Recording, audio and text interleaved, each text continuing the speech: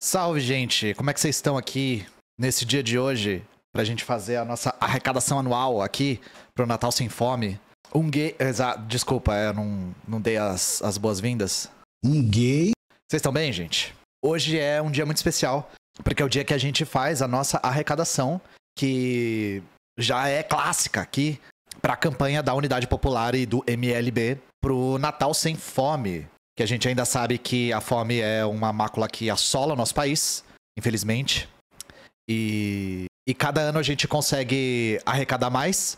Se vocês já quiserem participar, exclamação Pix, tem o QR Code na tela. Todo o dinheiro já tá indo direto para o MLB. Eu não tô nem encostando no dinheiro dessa vez.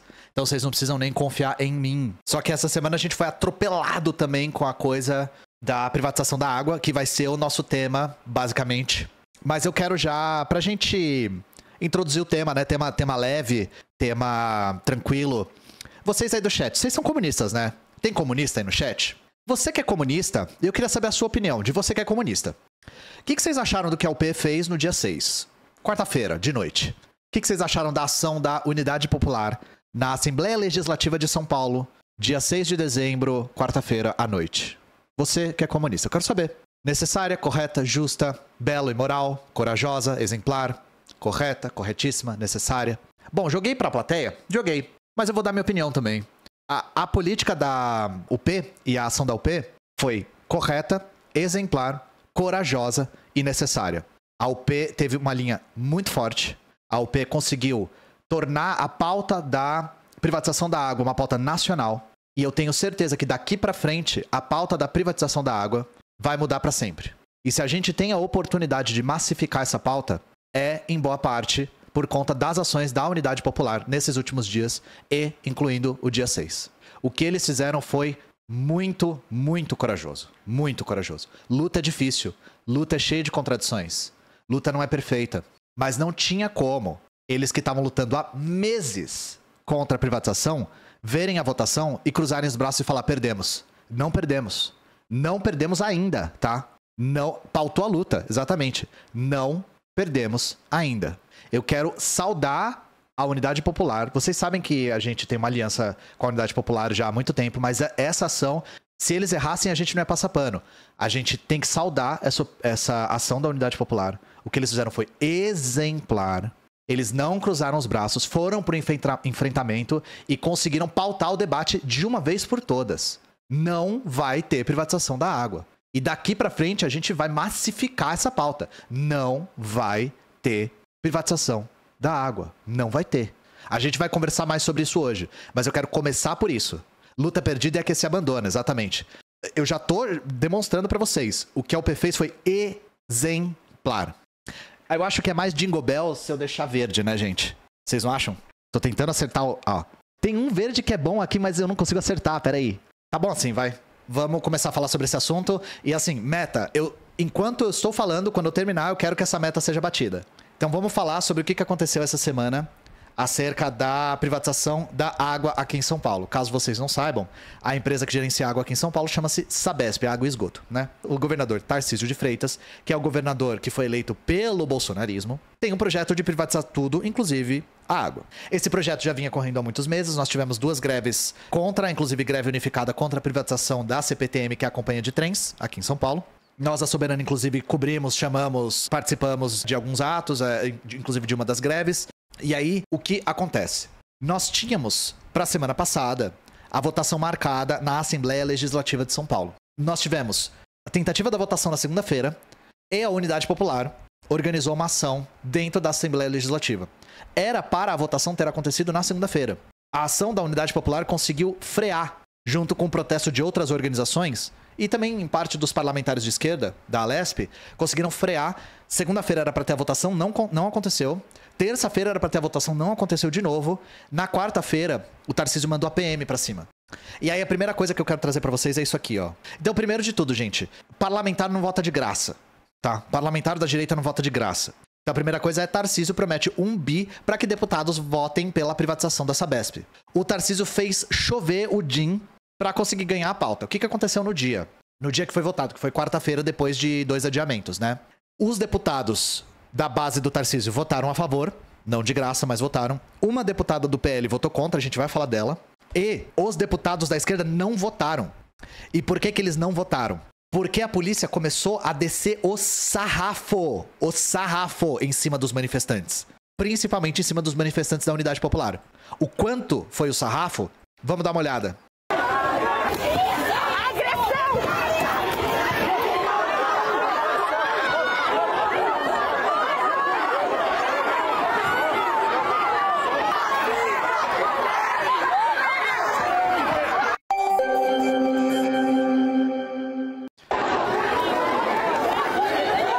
Esse camarada aqui, ó, ficou com o braço de um jeito. Ele foi pro médico. A gente falou com os camaradas que estavam com ele. Ele foi pro médico. O médico só fez uma, um curativo simples e falou assim: se você apanhou da polícia, provavelmente você mereceu. Foi isso que o médico falou. Então, vejam: os camaradas da Unidade Popular foram massacrados pela polícia. Nós tivemos só da Unidade Popular, e é que eu sei porque eu conversei com eles, 30 militantes, 30 militantes machucados. A polícia começou a jogar gás dentro da Alesp. Os parlamentares de esquerda se recusaram a votar, se retiraram de lá. A votação aconteceu da mesma forma, da mesma forma. E a privatização foi aprovada na Alesp. Não é a última instância, nós temos algumas outras instâncias legais, mas assim, isso aqui é completamente ilegal, gente. Isso aqui foi feito ilegal, primeiro porque as condições estavam completamente adversas. Os parlamentares da esquerda não votaram, não votaram. E primeiro que isso aqui não devia nem estar sendo votado como PL, porque isso aqui tinha que ser PEC para alterar esse tipo de lei isso aqui é constitucional. Então, como na Constituição do Estado de São Paulo tá que o serviço de água e saneamento tem que ser de maioria pública, eles teriam que votar como PEC. Isso aqui já é ilegal do começo, entendem? Então tá tudo errado. Tá tudo errado. E aí as pessoas, é, os militantes da UP não iam cruzar os braços, deixar tudo o que aconteceu passar, foram lá manifestar, foram violentados pela polícia. E, caso vocês não saibam, quatro militantes da UP foram presos: a Vivian, o Senese, o Andrew e o Lucas foram presos. No dia seguinte, eu fui para lá junto com a Bebel e o Vini, são outros dois militantes da Soberana. A gente foi pra frente do fórum e, gente, tinha todos os militantes da UP na frente, né, do fórum, alguns de outras organizações, mas a maioria da UP, e tava absurdamente lotado de polícia. E depois eu conversei com a galera e eles falaram: os policiais que estavam na frente do fórum são os mesmos que estavam na Lesp, eles reconheceram. Então tava uma situação de, de ameaça mesmo, sabe? Uma situação de é, opressão continuada, digamos assim, né? Ficamos na frente do fórum. Então, é, gravamos esse vídeo aqui, eu vou mostrar para vocês, caso vocês não tenham visto.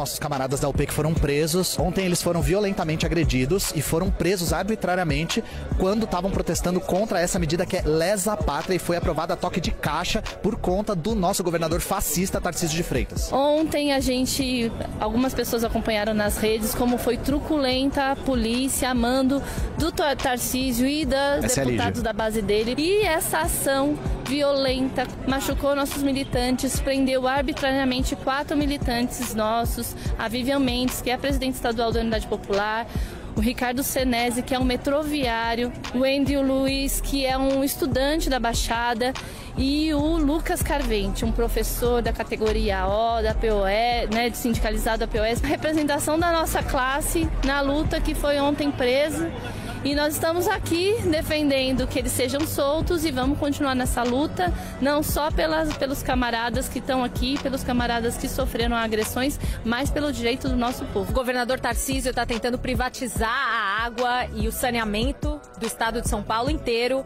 privatizar a empresa Sabesp.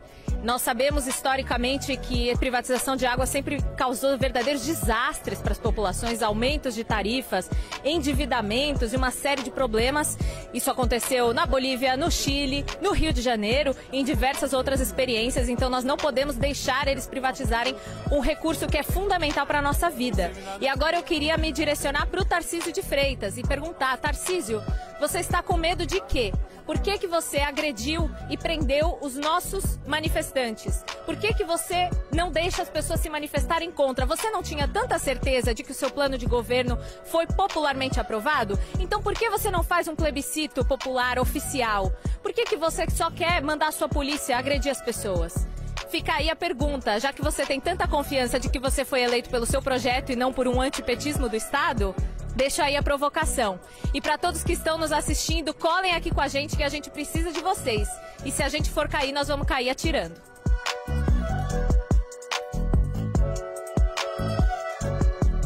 É isso, gente. Aí, no dia mesmo, logo depois da gente gravar, a gente ficou lá na frente. Descobrimos que o Senese e a Vivian foram soltos. Só que o Andrew e o Lucas continuaram presos. Então, vou, vamos conversar sobre isso agora. Nós tivemos aqui, vou colocar aqui para vocês. A Vivian, o Senese, o Lucas e o Andrew. A Vivian e o Senese foram soltos, o Lucas e o Andrew permanecem em prisão provisória. Foi decidida no dia que nós estávamos lá, né? E vamos falar um pouco deles que a gente tem que conversar sobre isso. Então, nós da Soberana estamos também fazendo campanha pela liberdade do Lucas e do Andrew. Caso vocês não saibam, o Lucas e o Andrew, eles realmente estavam na linha de frente. Eles estavam protegendo os outros camaradas, principalmente as camaradas que estavam apanhando da polícia. Então, eles estavam na frente se colocando como escudos humanos mesmo, colo colocando os braços, deitando em cima, se, se virando as costas para apanhar no lugar dos outros. Eles foram, assim, pessoas que tiveram uma postura fantástica lá e realmente agora precisam da nossa ajuda. Então, caso vocês não saibam, o Andrew e o Lucas estão presos em Guarulhos agora. A Unidade Popular está fazendo uma brigada na frente. Nós estamos apoiando agora e estamos fazendo campanha pela liberdade do Andrew e do Lucas, porque são prisões políticas, a gente não tem a menor dúvida disso. As prisões são políticas e elas foram ilegais do começo até o fim, gente. Do começo até o fim. Eu não posso entrar em detalhes das ilegalidades, porque, como eu não entendo de juridiquês, eu posso falar coisa que vai prejudicar os camaradas. Mas isso aqui foi legal num nível, é uma explicitude assim, do viés do Estado, do viés burguês do Estado, claro. Então, acho que vale a pena a gente saber mais quem são os camaradas, né? Lucas Carvente é um profissional da educação de 26 anos. Trabalha na Escola Estadual Beatriz Lopes, na Zona Sul de São Paulo, e faz mestrado em Ciências Sociais na Universidade Federal de São Paulo. Militante do movimento Luta de Classes, atua na base da APOSP e está preso arbitrariamente por lutar contra a privatização da água e do serviço de esgoto em São Paulo. Caso vocês não saibam, o camarada Lucas é, trabalha na escola, mas para complementar a renda dele, ele vende paçoca também. E esse homem que foi julgado uma grande ameaça para o Né? Está preso em prisão preventiva, o que é absolutamente inadmissível, porque ele não apresenta nenhum risco. Ele devia estar sendo, no mínimo, no mínimo, no mínimo do mínimo do mínimo, julgado em liberdade. Tanto quanto Andrew. Andrew Luiz é um jovem de 22 anos, criado na periferia de São Bernardo do Campo, que recentemente realizou um dos seus maiores sonhos e ingressou no curso de engenharia de petróleo na Unifesp. Andrew constrói o centro acadêmico desde o primeiro semestre da universidade, milita na UJR e o movimento Correnteza contra as privatizações em defesa de uma sociedade mais justa. Este jovem está preso arbitrariamente por lutar contra a privatização da água e do serviço de esgoto. Vou lembrar para vocês que esses camaradas foram presos principalmente porque eles se coloca colocaram na frente da polícia para apanhar no lugar dos seus outros camaradas, tá? E eu vou dizer uma coisa, gente. A camaradagem é o que nos move. Quando um comunista é preso, a gente é preso também. Quando um comunista é agredido, a gente é agredido também. Essas pessoas estavam lá para lutar por uma pauta que eu sei que todo mundo aqui concorda. Então, quando vocês se organizam, e quem é organizado vai saber do que eu tô falando, você começa a se sentir parte de um todo, parte de um coletivo, e quando dói em um, dói em você também. Então, para mim, é, é, eu assim, quando eu vi essas imagens pela primeira vez, eu fiquei uh, muito chocado, assim, muito, muito, muito chocado. E assim, é nossa obrigação unir agora a campanha contra a privatização pela campanha pela liberdade dos camaradas, tá? E a UP, novamente, tá fazendo um trabalho muito, muito, muito bom de pressionar e publicizar a injustiça que tá acontecendo, tá? Agora, eu quero que vocês vejam uma coisa. A mãe do Andrew falou e eu quero que vocês escutem com muita atenção o que a mãe dele falou. Sou a pastora Élica, né? É, alguns rostinhos aqui são, são bem conhecidos para mim. E eu quero primeiramente agradecer os camaradas porque eu sei o esforço que cada um tem feito para estar tá presente, para estar tá junto. Eu sei que todo mundo trabalha, né? Eu só consegui vir agora por conta de trabalho. E o que eu queria falar para vocês é o seguinte: a luta não para. Eu criei um filho para isso, para que ele lutasse naquilo que ele acreditava. E ele acredita em vocês, ele acredita nesse partido, ele acredita na revolução, ele acredita num país socialista. Então, o que eu quero pedir para vocês, em nome do meu filho que está lá, eu tenho, tem doído. Sabe quem foi mais doído para mim? Hoje de manhã tomar café. Porque eu sei que ele está recebendo café com leite, se estiver recebendo. Mas ele toma um café, tipo, mano, 300 ml de café. E sem açúcar, porque agora açúcar é prejudicial. Mas é isso. E aí o que eu queria falar para vocês é o seguinte: não retrocedam. Ele tá firme. A minha oração tem sido como pastora para que o espírito do meu filho não desfaleça. Não me importa o que acontecer com o corpo dele. Eles podem tentar como foi com o Manuel Aleixo, com o Manuel Bezerra, como foi com a Olga, como foi com a Cleone, como foi com todos e todas que participaram, entregaram a sua vida a lutar. Eu quero que não aconteça. Meu filho dói. Imagina, eu tô grávida, esperando a irmã dele de seis meses, né? De deitar. Eu sou técnica de enfermagem e eu não dormi essa noite. Eu tô virada desse, porque eu sou mãe em primeiro lugar.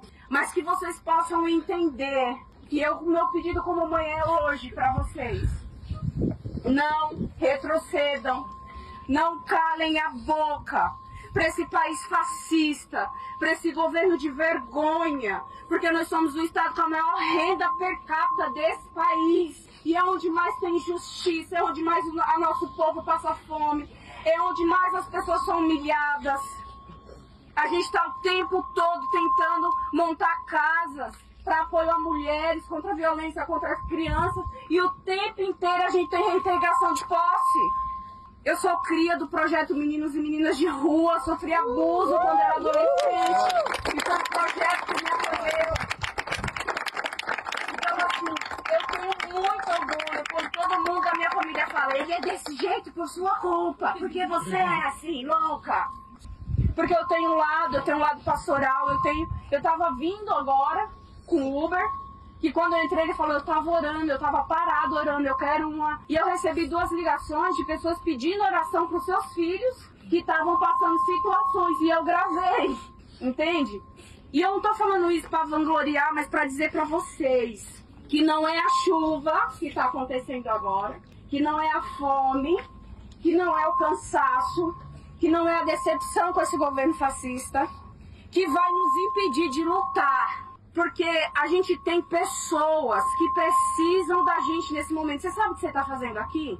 Você está abdicando. E você não está abdicando em nome do Andrew nem do Lucas. Você está abdicando em nome de uma revolução, em nome uh! de uma ideia.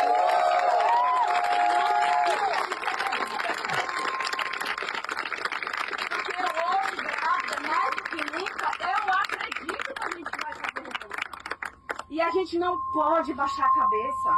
Não pode. Ah, vai perder, mas você não sabe, tá doendo? Tá! Eu não sei se meu filho comeu. Eu não sei se meu filho tá dormindo. Que mãe de militante é assim. Eu não sei se tem mãe de militante aqui junto. Mas mãe de militante é assim, acostume-se. Seu filho não vai responder mensagem. Quando ele está em atividade, pior ainda. E aí você manda, só chega um pauzinho. Opa, aconteceu alguma coisa. Não é. E aí você tem que saber seguir os amiguinhos e rastrear. Você vira um stalker. Entende? E aí você sabe, eu tenho uma linguagem muito boa com ele que eu falo assim, ô filho da puta. Você tem mãe ainda? Aí ele pega e manda um meme pra mim. Mas uma coisa eu falo pra você. Eu conheço o filho que eu tenho, que eu criei ele pra isso. Eu tenho maior orgulho de falar. Pode falar que ele é baderneiro, é, crítica de Bolsonaro não me atinge. Não tenho problema com isso, eu sou bem resolvida. Eles é problema deles, né? E aí, uma coisa que eu quero falar para vocês: se meu filho pudesse agora ter voz para falar para vocês, ele diria: Mãe, nós estamos no caminho certo. Mãe, nós estamos mexendo. Mãe, está acontecendo. Mãe, está revirando. Eu não quero, como mãe, nunca perder meu filho como a mãe dos outros heróis perderam seus filhos. Mas se hoje, caso isso acontecesse, meu filho morreria feliz, porque ele morreria lutando por aquilo que ele acredita.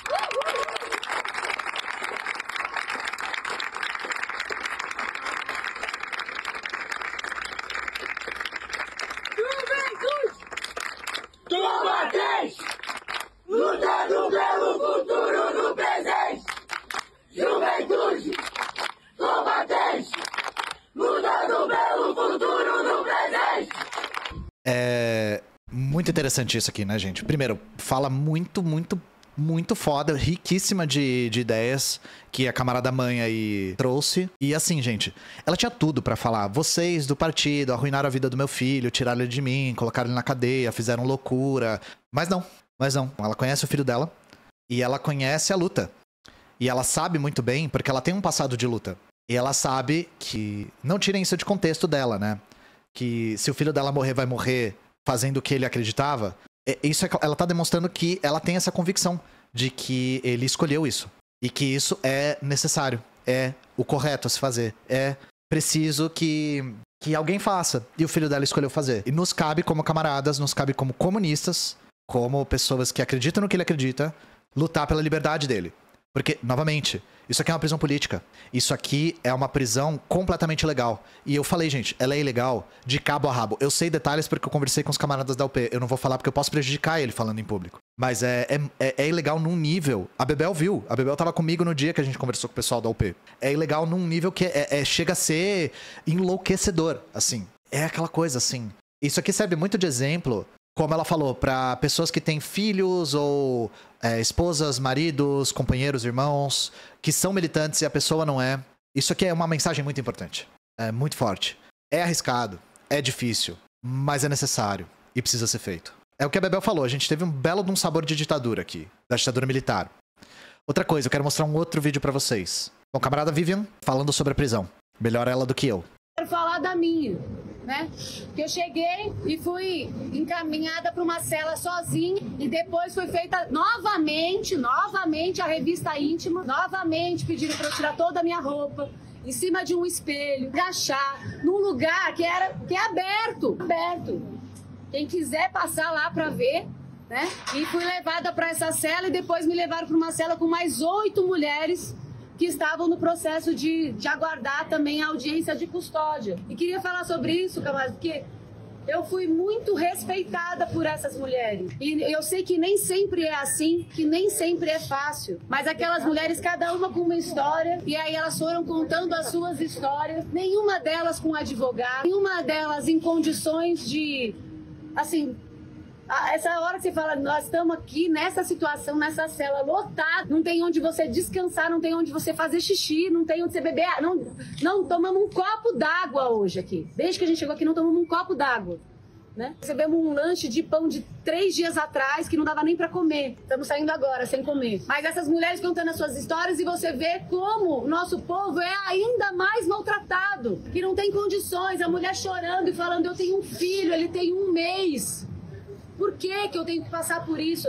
Elas indignadas, perguntando como é que eu fui parar lá. Aproveitei para falar da privatização da Sabesp. E garanto para vocês que o nosso povo, camaradas, de norte a sul desse país, é contra a privatização. Até aquelas mulheres que estavam lá eram contra a privatização. E fizeram questão de me apoiar, entendendo em que condição que eu estava ali. Me explicaram tudo. As angústias de saber que muitas não iam receber a visita dos seus maridos foi essa conversa que nós tivemos ali. Até que em determinado momento eles perceberam que nós éramos figuras públicas.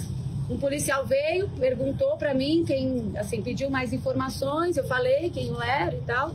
E eles nos separaram de cela, a mim e os companheiros também, né? Que eu, a gente não tinha contato nesse momento. E ficamos sozinhos nas, nas nossas celas até a, a gente é, subir para participar da audiência de custódia. Na audiência, camaradas, mais uma vez os nossos advogados ali, além de representando esses dois, estava a companheira que estava ali, a Isa que está por aí também, o Raimundo Bolfin da CMP também acompanhando, Heitor, é, é Heitor, o, o advogado do, do, que acompanhou o Lucas, que é o advogado da PUESP, e ali mais uma vez é, o Ministério Público apresentou acusações mentirosas, mentiu, falou que a gente apresentava risco, pediu para que a gente ficasse preso e mais uma vez os nossos advogados, com o vigor de quem sabe que está falando a verdade, defenderam cada um de nós de uma forma, camaradas, que não tem advogado nesse país mais bem pago, rico, milionário, que fizesse com tanta convicção e profundidade o que eles fizeram para nos defender ali naquele momento.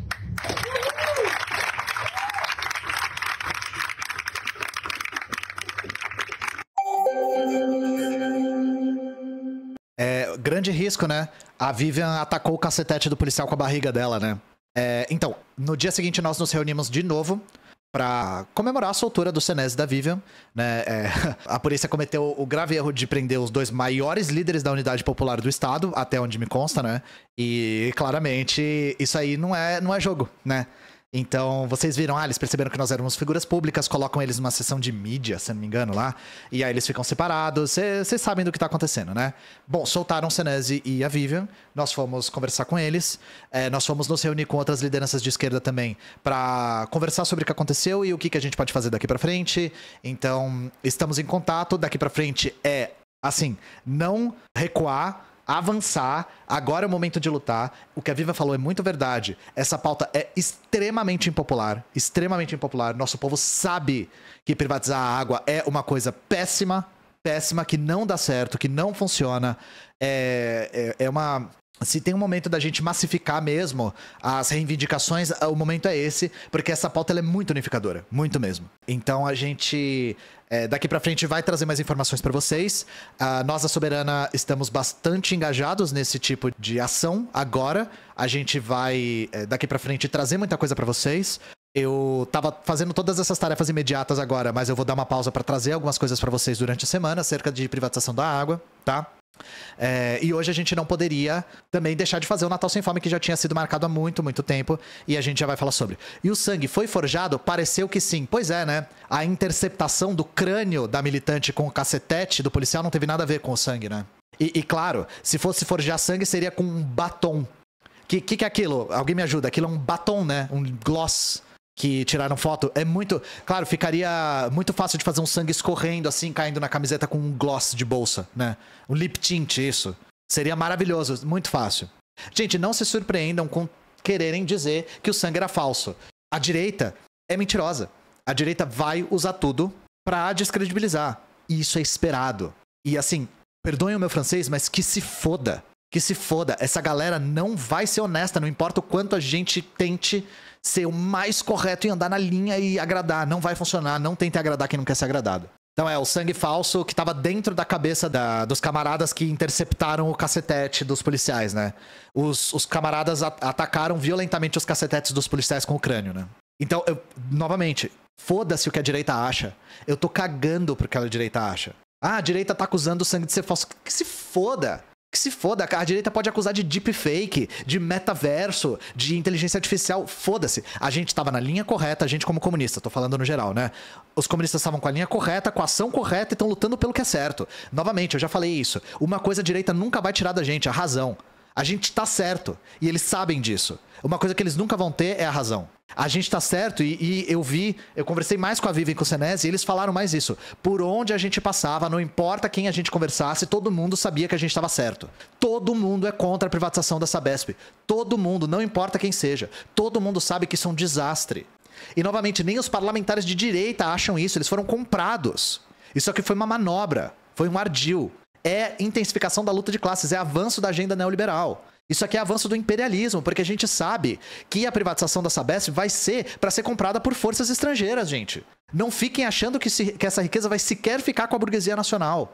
Então a hora é agora. Recuar vai ser um erro histórico. Sim, a deputada do PL que votou contra, ela é de Franca. Franca é uma cidade que a indústria de lá depende muito da Sabesp. Então essa deputada é contra porque para a cidade dela, a Sabesp continuar sendo um serviço público é jogo.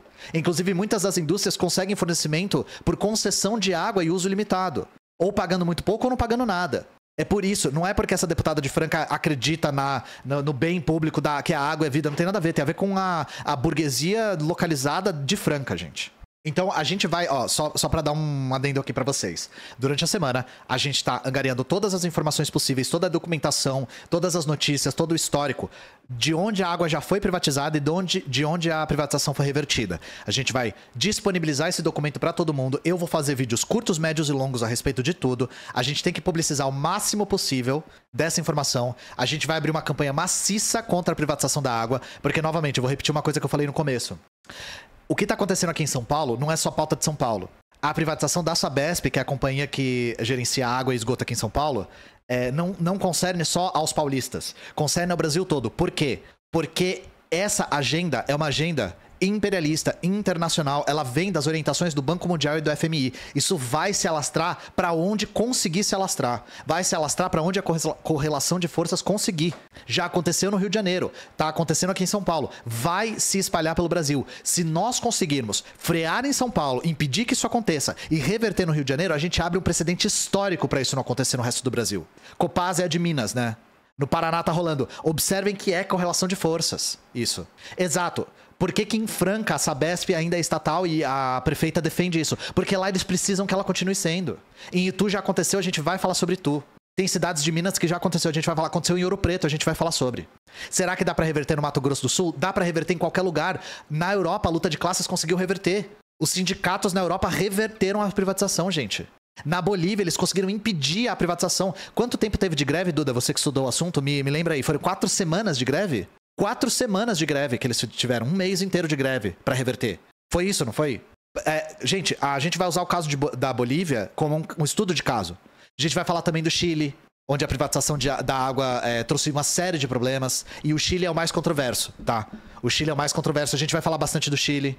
Mas fiquem. É... Em Cochabamba foram quatro meses, olha só. Eu, eu, vou ler tudo. Não deu tempo de eu ler, gente. A gente tava saindo todo dia para ajudar a galera da UP. Então a gente vai trabalhar em trazer o máximo de informação possível para vocês e a gente vai trabalhar para tentar estimular o máximo de criadores de conteúdo possíveis para falar sobre isso, porque a gente agora tem que ampliar Agora, sinceramente, gente, a gente tem que colocar nossas diferenças de lado. Privatização da água é lesa pátria. Privatização da água é coisa de greve geral. Então, a gente tem que construir essa frente ampliada, porque isso aqui é uma coisa que, novamente, a população maciçamente é contrária. Então, nós da Soberana vamos disponibilizar o máximo de material intelectual possível para facilitar esse processo, porque quanto mais criadores de conteúdo falarem sobre isso, mais a gente chega nas pessoas. A gente tem que ter mais gente falando, de preferência pessoas de outros estados, contando dos seus estados, das suas cidades, contando a maquinação que está rolando lá, se tá para privatizar, se já privatizou, o que, que aconteceu, quando aconteceu se essa luta tá rolando. E não recuar. Não recuar. Eu vou terminar onde eu comecei. O que a UP fez na Alesp não só foi correto, como foi exemplar. Eles estavam lá na segunda, na terça e na quarta. O que eles fizeram foi transformar essa pauta da privatização da água numa pauta nacional. Eles jogaram luz em cima de um jeito que não estava antes. Então a gente acredita de verdade que isso aqui foi uma linha corretíssima, extremamente corajosa e muito necessária. Daqui para frente é não recuar, eu quero louvar de novo a ação que a UP fez. Eles não iam cruzar os braços depois de meses de luta contra a privatização da água. Meses. Meses. Porque vocês se enganam se vocês estão pensando que foi a primeira vez que eles falaram sobre. Que foi só ocupando a Lesp isso. Não foi isso. Teve greve, gente. Teve campanha. Teve plebiscito popular. E a gente vai continuar falando sobre. Eu tô com viagem marcada já pro dia 15, então eu vou sair dia 15, mas até o dia 15 eu vou falar basicamente desse assunto. Eu vou trazer para vocês o máximo de material possível. A gente vai produzir material em texto, em vídeo e em áudio para isso, tá? A gente vai, já está produzindo material de propaganda tanto contra a privatização da água no Brasil todo, não só em São Paulo, como em, a favor da libertação dos camaradas que foram presos, defendendo o nosso patrimônio, tá? Defendendo o que nós precisamos para sobreviver, que é a água. Eles estavam lá na frente, eles levaram porrada, menino de 22 anos, gente. 22 anos. Se colocou na frente das mulheres que estavam apanhando da polícia lá na Lesp. Se eu não me engano, tinha uma companheira grávida lá, lá na Lesp no dia. Eu não lembro se era uma companheira da UP ou uma parlamentar, mas tinha alguém grávida dentro. Aquilo virou uma verdadeira câmara de gás, porque soltaram gás de pimenta dentro. Os parlamentares saíram. E esses dois se colocaram na frente e apanharam no lugar dos outros. Foi o que eu falei, gente. 30 militantes da UP foram machucados pela polícia. 30 militantes da UP. E novamente, o militante que eu mostrei o vídeo mais cedo que tá levando o cacetete no braço, tá com o braço todo todo inchado, todo cortado. O médico falou para ele: se você não tivesse fazendo algo errado, você não teria apanhado. Se você apanhou da polícia, provavelmente você tá fazendo algo errado. Porra, gente, todo mundo que já teve algum tipo de experiência com a polícia sabe que isso não é verdade, pô. Desde quando a polícia é dona da razão? Pelo amor de Deus, né? Mas, novamente, né? A gente sabe que médico é uma categoria bastante elitizada e não me surpreende esse tipo de pensamento. É uma pena que o camarada tenha sido, tenha tido o seu exame de corpo de delito negado, teve o seu BO negado, foi ao médico e o médico ainda rechaçou a, a, o fato dele ter apanhado. É isso, gente. Uh, vai ter porque odiamos Kissinger. Nossa, vocês estão querendo me jogar. Joga a pauta no Ian. Joga a pauta. Eu, até preparei material para falar do Kissinger, mas é, novamente, a coisa da privatização da água veio atropelando, assim. Enquanto a gente não finalizar essa campanha da água, a gente vai suspender tudo, porque é muito. Assim, foi o que eu falei, gente. É coisa de greve geral. Privatização da água é coisa de, de greve geral mesmo, assim. Stalin pro meu Burkina Faso. Eu gosto que eu vou acumulando pauta e não faço nenhuma, né? É hip bozo, né? Ah, o João deve saber falar do Kissinger de cabeça, né? Não precisa nem, nem estudar para falar. Como ele mesmo diz, ele já esqueceu mais sobre o Kissinger do que eu já estudei na vida. Sim, não, a precarização da. Fa... Sim, não é ótimo, né? A precarização da, Fa... da, Fa... da Sabesp tá acontecendo há muito tempo já. Os profissionais da Sabesp sentem isso na pele. Lá os dois eu quero acreditar, assim, né? Isso eu continuo. Dá para reverter a Sabesp? A Sabesp ainda não foi privatizada. Ah, eu esqueci de falar isso, né? Foi aprovada a privatização na Câmara dos Deputados, né? Na Câmara Estadual. Mas, é, como a cidade de São Paulo tem maioria na administração da Sabesp ainda tem que ser aprovada na Câmara dos Vereadores em São Paulo. Então tem que passar pela Câmara dos Vereadores ainda, que é 44,5% do faturamento da Sabesp, é um negócio assim. E a gente ainda tem que lutar para que isso não aconteça. Fora que, novamente, gente, é completamente inconstitucional o que está acontecendo. Caso vocês não saibam, os estados têm constituição também. E a Constituição de São Paulo garante que a água e o saneamento tem que ser de administração pública. Ou seja, isso foi votado como um projeto de lei, mas não poderia, teria que ser como PEC. Teria que ser como é, emenda constitucional, porque altera a Constituição. Então já está errado. Inconstitucionalissimamente, já está errado. Você acha que aprovam ou não? Na Câmara dos Vereadores não tem a menor dúvida de que sim. Não tem a menor dúvida de que sim. A base, a base de direito é muito maior. O problema não é esse. O problema é se a gente vai deixar. Essa é a questão. A gente como classe, tô dizendo. Falando eu, eu, eu e a Bebel juntos, assim, né? Os cara, a direita tira tudo de contexto, né? A gente vai deixar. Os caras acham que eu vou lá e vou, tipo, segurar a mão assim e falar, não vai privatizar. Não é isso. Tô falando da gente como classe, tá? Quem vai julgar se é constitucional ou não é o Supremo Tribunal Federal. Eu acho que tem a instância estadual, não entendo dessas coisas, gente. Mas tem a instância estadual que acho que pode julgar se é constitucional ou não, mas pode subir até o Supremo. E assim, é fato, é inconstitucional. Se fosse ser votado, teria que ser PEC. O problema de CPEC é que demora mais e a votação tem que ser qualificada. E tem que ir, voltar, ir, voltar, é um negócio, um processo mais complexo, sabe? Você acha que o STF reverteria a decisão? Sabe que eu não sei? Isso é uma boa pergunta, eu não sei. O STF às vezes tem uma oposição um pouco ambígua. A questão é, a via institucional tá falida, gente. A prova de que a via institucional tá falida é, isso aqui tinha que ser PEC, foi aprovada como PL. Os deputados de esquerda sequer estavam lá porque aquilo virou uma câmara de gás, não dava para votar. Os manifestantes foram presos de maneira ilegal e com um processo completamente torto. Esquece. A via institucional está completamente falida. Completamente falida. Claro que a gente ainda tem que lutar por isso. Vai que, mas é um grande vai que. A questão é que a gente não pode contar com isso. Então, assim, os parlamentares do PSOL, do PCdoB, do PT já estão articulando para reivindicar a inconstitucionalidade. Beleza, tem que fazer. Mas eu não conto com isso. E o bagulho foi aprovado sem o voto da oposição dentro da Câmara de Gás com o sangue das pessoas lá. Foi assim que aconteceu. É, vamos fazer ação coordenada. A gente tem que fazer ação coordenada. Fiquem de olho, a gente vai trazer ações coordenadas para vocês. Fiquem tranquilos. A gente vai tentar organizar tudo da maneira possível para transformar isso num movimento de massas, porque o momento é agora, a gente não pode recuar. A gente acredita que a saída é via popular, totalmente, assim, totalmente. Não é momento de recuar de verdade, assim. O que, que o PT acha que tá fazendo? Olha, não sei, assim. Bom, o momento é agora de mobilizar as bases, gente. É assim. É, não, não, não tem muito mais desculpa. Os sindicatos e os partidos têm que mobilizar suas bases. A minha tia de direita mandou vídeo falando que a UP agrediu o policial. Os policiais foram os que começaram com a violência, tá? Os policiais. Não tem a menor dúvida disso, isso tá nos vídeos, eles não mostram por conta de saberem que a gente tá com a razão. Os policiais militares começaram com a violência. Vocês acham que é coincidência que a UP tava lá há três dias e no último dia que teve essa violência toda? Não é coincidência. A polícia foi lá para aprovar o negócio na porrada. A, exato, a briga foi equilibrada. A polícia batia, o pé apanhava. Tem vídeo, vídeo, entra na página da Unidade Popular, a geral, não a de nenhum estado. Unidade Popular. Pega vídeo por vídeo, você vai ver a PM macetando as pessoas. Foi o que eu falei, teve 30 membros da UP, 30 militantes da UP feridos. 30.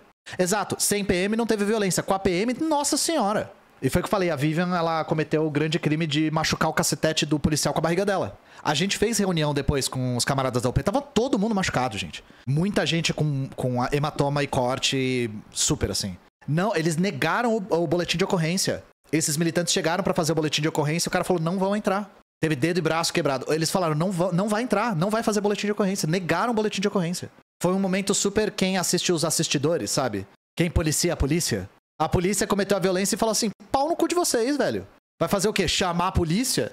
A quem os militantes da UP podem recorrer? Pelo que a gente observou nas reuniões, eles estão muito bem assistidos legalmente já. Então, os outros partidos disponibilizaram é, bancadas parlamentares, né, para ajudar, para auxiliar, os assessores disponibilizaram advogados. Isso eu vi que eles estão muito bem aportados, porque todo mundo viu a justeza da situação, né? É, é, dedo quebrado, cabeça cortada e muitos roxos, né? Soltar as imagens com o objetivo de impactar algo esperto de se fazer. Olha, vamos observar o que aconteceu em 2013. Se você já, uh, já era, digamos assim, uma pessoa adulta o suficiente para entender o que aconteceu em 2013, ou participou, inclusive, vocês lembram do que aconteceu, gente? 2013? Vamos recapitular. Nós tivemos, como sempre, um aumento das passagens, né? Nós tivemos o movimento Passe Livre, que é um movimento, pelo que eu me entendi, uma coisa meio espontaneísta, né? E eles começaram a fazer manifestações contra o aumento da passagem, como eles sempre vinham fazendo. E aí, em um determinado momento, a, momento, a violência policial começou a escalar. E aí teve muita bomba, muito tiro de borracha, muito cacetete, muito é, efeito moral. E isso começou a chocar a população, porque era uma pauta mais do que justa, mais do que justa, aumento da passagem é uma coisa que acomete todo mundo. E as pessoas foram recebidas com extrema violência. O que, que aconteceu? Se tornou num gigantesco movimento de massas. Então, a partir dessa experiência, eu quero que vocês tirem as conclusões. Aí vocês podem argumentar, beleza. Mas o que aconteceu depois de 2013 foi a, a cooptação dessas forças à direita. E eu concordo com vocês. Só que o que nós temos hoje, nós não tínhamos na época, que é uma esquerda suficientemente organizada. Vou lembrar para vocês que os, as pessoas que protagonizaram o que aconteceu na Alesp são de um partido marxista-leninista, um partido comunista. Sim, a extrema-direita ficou com o espólio desse movimento de massas. Ó, a camarada tá dizendo que a OP nasceu nas manifestações de 2013. Eu acredito em você. Uma análise do que estava acontecendo pode ter gestado um partido de massas. Então, publicizar isso é importante porque isso demonstra que as causas justas da nossa população são encaradas, aos olhos do Estado burguês, como caso de polícia. No maior estilo, estilo questão social é caso de polícia. Pessoas que estavam protestando contra a privatização da água, que é uma pauta muito impopular, foram massacradas pela polícia. Que mensagem que a população recebe ao ver isso? A mensagem é clara: o Estado não trabalha a seu favor. E se você questionar, você vai receber porrada. E escancar o real propósito da polícia, diga-se de passagem. PT é considerado esquerda? Por que, que o PT não esteve organizado para manifestar contra a Sabesp? Aí eu, eu sou muito reticente em falar da organização alheia. Aí você tem que questionar as bases do PT. Os dirigentes, inclusive, né, do PT. Mas isso é uma boa pergunta. Eu sei que tinha, não vou ser injusto, tá? Lá no dia do quebra-pau tinha a juventude do PT lá sim. Mas, sem querer passar pano, não era nem de perto o suficiente. O, a camarada falou o que eu falei. Eles estavam presentes, mas não, de, não o suficiente. Não o quanto eles conseguem mobilizar. O PT movimenta muito mais do que estava lá, principalmente em São Paulo. Toda doação vai pro Natal Sem Fome, mas tem que ser nesse Pix aqui. Tem que ser nesse, nesse aqui, ó. É, livepix.gg barra Natal Sem Fome. É, esse QR Code é pelo software de QR Code, sabe aquele que todo mundo tem no celular? Vídeo sobre o quê? Se for sobre a questão lá de tudo que aconteceu, a gente põe. Mas sobre a questão da, da privatização da água como um todo, o estudo que a gente vai fazer, eu vou lançar separado. Porque tem que ser mais organizado. Mas sobre o que aconteceu com a UP, acho que sim, acho que, acho que vale a pena falar. Vou ler. Fabrício Andrieta, se a esquerda radical começa a se organizar no PT, você acha possível puxar o PT para a esquerda novamente? Não. Não, eu não acredito nisso e não sou eu. A base teórica marxista-leninista não acredita nisso. A gente não acredita nessa tática que a gente chama de entrismo. O entrismo é você entrar num partido tendo uma linha contrária dele ou diferente da dele e tentar conquistá-lo por dentro. A gente tem que, a gente acredita que a gente tem que construir um partido que tenha suas origens numa, numa perspectiva revolucionária. É, eu não consigo ver precedentes históricos de entrismo funcionando. Costuma ser um desperdício de militância, de energia e tempo. Então, no meu ponto de vista, eu acho isso improdutivo, mas é a minha visão só. Entrismo em partido de direita ajuda? Na minha opinião, não funciona nunca. Entrismo. Países com poucos partidos têm mais chance de uma revolução acontecer? Eu nunca vi uma coisa ser relacionada com a outra, não. Ah, sim. Aí faz sentido se juntar um sindicato? O sindicato é outra coisa. Os sindicatos têm a margem para disputa, tá? Porque sindicatos são organizações distintas de partidos. Então, os sindicatos, eles têm mais margem para disputar. Na minha opinião, tem sindicatos que não são disputáveis. Então eu entendo o que você está perguntando. Mas no que diz respeito a sindicatos, isso que eu falei não se aplica de maneira assimétrica. Faz sentido em algum momento o partido começa a fazer uma conciliação à esquerda apenas com deputados mais fortes, conhecidos como Erika Hilton, Pastor Henrique Glauber, espaço, visibilidade e votos em uma primeira parte da movimentação. Então, é, sim, mas é, no sentido de, se a gente for disputar a via parlamentar, a gente vai ter que construir com os partidos de esquerda que estão lá. Isso é fato. Existe uma outra, um outro fator. A gente acredita de verdade que contra o fascismo a gente tem que ampliar a frente. Porque o combate ao fascismo é prioridade e tá na ordem do dia, sabe? Então a gente acredita que para fortalecer a nossa luta contra o fascismo, que ainda tá muito vivo no Brasil, né? A derrota do Bolsonaro não pôs um prego no caixão do fascismo, a gente deve ampliar as nossas frentes. Então eu falei mais cedo sobre isso. Agora, com o caso da privatização da água, que assim, novamente, o paradigma econômico do fascismo contemporâneo é o neoliberalismo. O fascismo contemporâneo é neoliberal. Então, o neoliberalismo é a expressão econômica do fascismo. Uma pauta como a privatização da água é, novamente, a expressão do fascismo em pauta econômica. Que é privar as pessoas de um bem que é essencial para a vida, sabe? É, é um tipo de cercamento extremamente violento. A gente acredita de verdade que agora uma pauta tão grave e tão consensual entre a classe trabalhadora, que é a privatização da água, a reversão dessa privatização, deve ser abordada por uma frente o mais ampla possível. Porque é algo que é quase indiscutível. Quase indiscutível. Então, a gente tem um nome para, por exemplo, vamos, vamos, eu, eu, sei que eu tô abrindo muitas portas aqui, mas imagine o seguinte, imagina que a gente fala assim: beleza, a privatização da água é algo que a gente é contra, a gente tem que lutar contra, mas eu não faço frente com o PT. Eu não componho com o PT, eu não participo de manifestação que o PT participa, eu não me reúno com o PT. Isso tem nome na teoria: esquerdismo. O esquerdismo é você colocar as tarefas do futuro na frente das tarefas do, do presente. Esquerdismo ou comunismo de esquerda, como Lenin diz, dizia, assim, a tradução é um pouco ambígua, né? Comunismo de ultra-esquerda, ultra-esquerdista, etc., é o que, no lugar de resolver os problemas imediatos e conseguir enxergar as coisas como uma dialética entre o presente e o futuro, só coloca as pautas do futuro na ordem do dia. Por isso que ele chama de doença infantil do comunismo. Ou só a doença infantil, né? Novamente, a tradução é um pouco ambígua. Então, não só a gente é favorável com esse tipo de coisa que você estava citando, mas existe um termo e um livro teorizando em cima desse tipo de postura. Então, por exemplo, o que o Lenin usa nesse livro como exemplo é: os bolcheviques devem ou não participar das eleições. E aí ele traz diferentes exemplos de sim ou não. Porque depende, a gente tem que fazer uma leitura da realidade para ver o que, que, é tática, o que, que, é estratégia, o que, que traz ganhos políticos, perdas políticas. E não só falar assim, eu não falo com petista, petista é cuzão. Não compõe com. Não é assim, sabe? Ah, eu não entro na mesma sala que gente do pessoal. Isso é esquerdismo, puro e barato e simples, sabe? Eu concordo com você, radicalizar gente do PT, do PSOL, do PCdoB é muito fácil. Muitas vezes as pessoas se filiam ao PT e militam pelo PT porque tem vínculos históricos com o PT e porque o PT chegou nas suas cidades, nos seus bairros muito cedo. Então tem histórico, né? Tem um histórico de trabalho, de militância, faz sentido. Não tenho opinião formada sobre autodefesa, não entendo do assunto. É isso, gente.